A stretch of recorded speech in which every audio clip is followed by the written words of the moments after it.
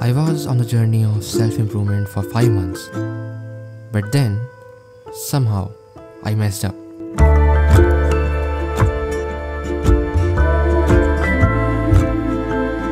The changes in these 5 months have been drastic. I have improved physically, mentally, better mindset, and habits are overall better and a way of living life. But then, after hitting saturation, I saw myself sweeping back into those old habits, into the way of life I wanted to get out of from.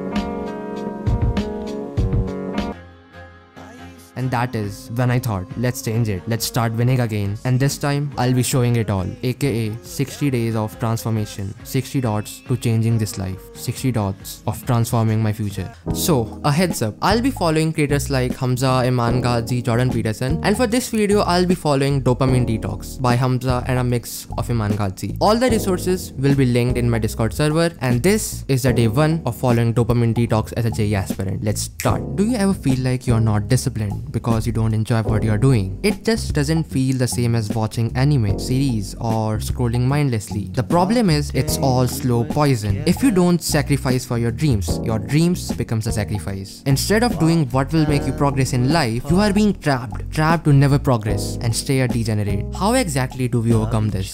How exactly do we leave this trap? Well, in Hamza's word, we sacrifice the short term for long term. As a JEE aspirant, our biggest distraction is social media. So for the next 7 days, I will be following Hamza and Iman Gadzhi's guide to dopamine detox and you are going to witness it and how it turns out and I hope that you might learn from it. After 7 hours of sleep, I woke up at 6 am. I'll not be using any social media or phone because it's crucial you start your day well and without any dopamine rush. The first thing I did was taking a cold shower. After taking cold shower, I meditated for around 10 minutes. Iman Gadzhi once said, if you can't do 10 minutes, you should do 30. In the growing age, because of studies and neglect, we are not able to reach our body's true potential and that's why working out is necessary, even if it's only 45 minutes a day.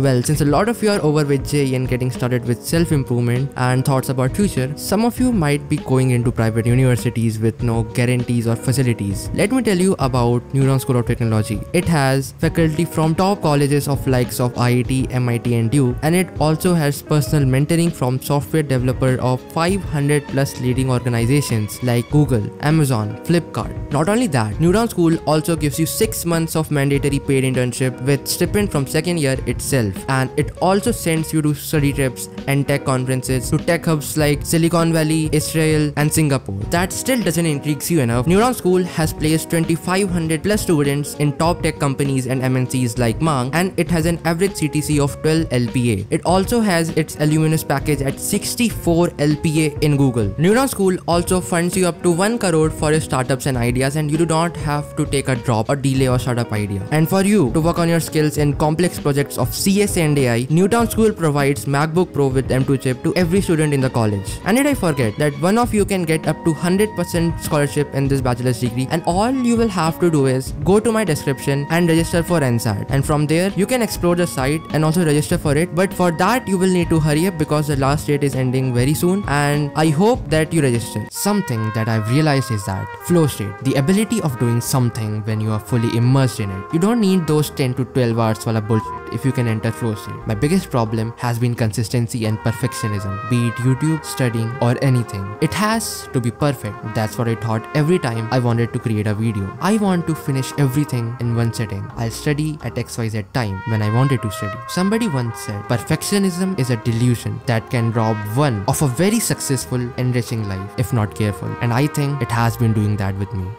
And that's why I've decided to just do it. Do it regardless of emotions, do it regardless of feeling tired, do it regardless of not feeling it because done is better than perfect. So I usually study for 4 hours. It's usually that 4 hours flow state or 4 hours deep work and there is a reason I haven't been keeping those unrealistic 10 to 12 hours on a goal because what I've realized is that life is meant to be holistic. You are meant to have a personality. You are meant to have hobbies. You are meant to do things which will help you create your personality, especially in your teenage years. You won't be like, you will grow up and you will realize that, damn, I didn't do anything in my teenage years except studying, which is not a bad thing, but as a human, I think we'll prefer the other one. Since it's almost fun, a majority part of my time is gone to my coaching, but at the same time, I feel like I'm not surpassing my limits, that I'm just not doing how much I'm supposed to do, and that's why I'll be improving that too in the next 60 days. I'll become exponentially better than I am right now. Now that it's 8 pm, I'm closing to the end of the day with 25 minutes of screen time. And oh yeah, I'm back from the coaching. This night phase is one of the most crucial since it's the me time. I'll usually work on my YouTube, record, and script while staring at a blank wall with no devices. And after that, I'll play guitar and sing my hearts out because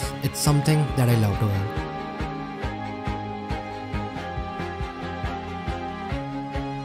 In the 60 Dots challenge, the day 1 was a success. And to join this challenge and find all my resources, join my Discord server and everything will be there. Thanks a lot for watching. The next video will be out soon.